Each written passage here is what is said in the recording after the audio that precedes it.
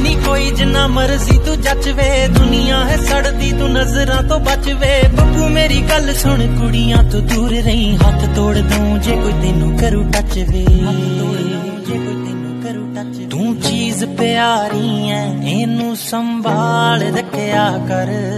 ਮੇਰਾ ਤੂੰ ਹੀ ਤੂੰ ਤਾਂ ਹੈ ਤੂੰ ਆਪਣਾ ਖਿਆਲ ਰੱਖਿਆ ਕਰ। ਮੇਰਾ ਤੂੰ